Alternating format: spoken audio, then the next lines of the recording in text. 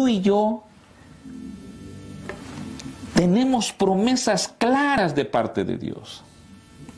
Cuando alguien se entrega al Señor y adora al Señor y se rinde para adorar y le canta y le ora y le sirve y adora continuamente, el Señor no nos dejará con las manos vacías.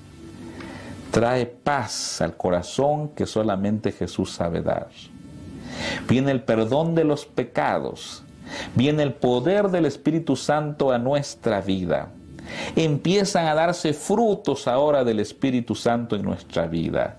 Nuestra vida empieza a cambiar, pero además está la promesa de ser transformados cuando Jesús venga por segunda vez o ser resucitados cuando Él venga por segunda vez.